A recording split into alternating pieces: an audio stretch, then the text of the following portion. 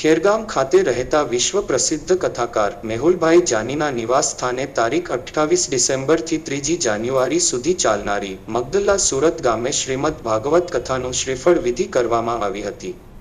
કથાકાર મેહુલભાઈ દ્વારા સુરતના અગ્રણી ઉદ્યોગપતિ અને મગદલ્લા નિવાસી કોળી સમાજના અગ્રણી મહેશભાઈ પાચિયાના મુખ્ય યજમાન પદે પોતાની માતા સ્વ લક્ષ્મીબેનના મોક્ષાર્થે ભાગવત કથાનું આયોજન કરવામાં આવ્યું છે. કથાનો સમય દરરોજ બપોરે ત્રણ વાગ્યાથી છનો છે.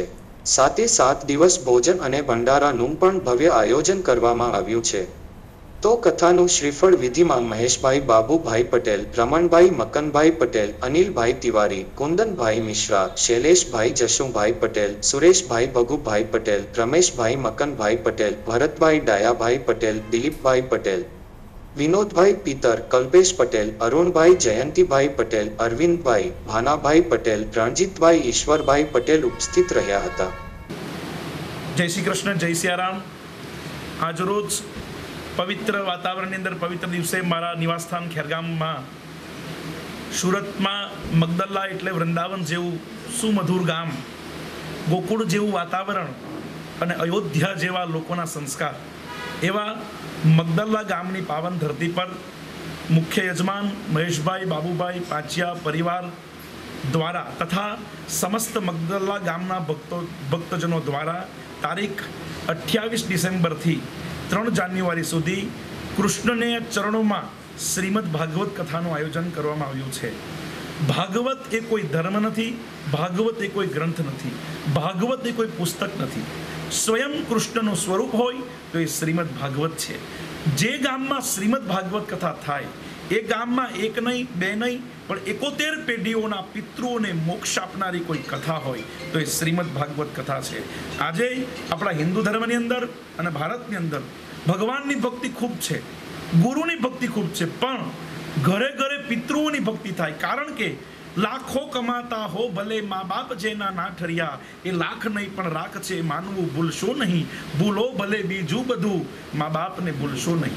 પિતૃઓના ચરણોમાં સમર્પિત થવા માટે આ ડિસેમ્બર મહિનાની અંદર મગદલ્લામાં શ્રીમદ ભાગવત કથાનું આયોજન કરવામાં આવ્યું છે.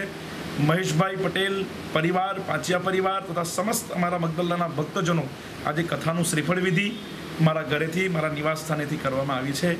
હું આ ટીવી માધ્યમથી, ન્યૂઝના માધ્યમથી હું તમામ આપણા ગુજરાતની તમામ જનતાને આમંત્રણ પાઠવું છું કે ત્રણ ડિસે ત્રણ જાન્યુઆરી સુધી ચાલનારી, અઠ્ઠાવીસ ડિસેમ્બરે પ્રારંભ થનારી કથામાં સૌ લોકો ભાગ લઈ આપણા જીવનને ધન્ય બનાવવા માટે, આપણી એક એક ઇન્દ્રિયોમાં ભગવાન કૃષ્ણનો રસ વસે એ માટે કરસતી ઇતિ કૃષ્ણ.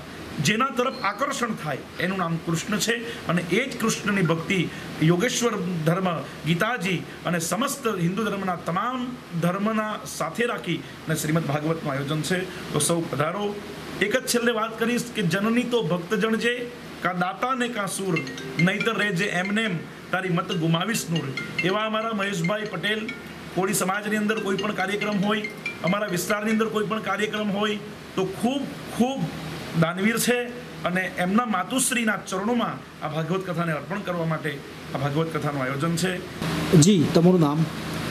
જય શ્રી કૃષ્ણ જય સિયારામ જય યોગેશ્વર ભગવાન કી જય. મારું નામ મહેશભાઈ બાહુભાઈ પાંચિયા. હું મગદલ્લાનો રહેવાસી છું અને આજ ખેર ગામમાં અમે શ્રી સંત શ્રી મેહુલભાઈ જાનીના નારિયેલની વિધિ કરવા માટે અહીં આવ્યા છે અને અગાઉ અમે હવે અઠ્ઠાવીસ ડિસેમ્બરથી ત્રણ જાન્યુઆરી કથા રૂંઢ મગડલ્લા ગામમાં રાખેલ છે. સર્વ ભક્ત ભાઈજનોને અહીં કથા સાંભળવા આમંત્રિત છે. સૌ પ્રેમ લઈને, પ્રેમનો ભાવ લઈને સૌ બધા પધારશો એવી અમે આશા રાખીએ છીએ અને અહીં મગડલ્લા ગામના અમારા વડીલ શ્રી રમણભાઈ મકનભાઈ, તેમજ તિવારીજી, તેમજ કુંદનજી, તેમજ શ્રીનાથજી ટાયર શૈલેષભાઈ, સુરેશભાઈ, અરવિંદભાઈ, ભરતભાઈ દિલીપભાઈ, વિનોદભાઈ, અરુણભાઈ અને રણજીતભાઈ. સર્વે ભાઈજનો અમે અહીં ખેર ગામમાં આવ્યા છે. અમને ખૂબ આનંદ થયો છે અને પ્રભુના એવા આશીર્વાદથી અમારા સંતોના આશીર્વાદ અમને મળે છે. એનાથી અમે આ સર્વ કાર્ય કરવા માટે તત્પર છે. એવી પ્રભુને ચરણોમાં પ્રાર્થના. જય શ્રી કૃષ્ણ. હિતેશ પટેલ, જનસાક્ષી ન્યૂઝ, ખેરગામ.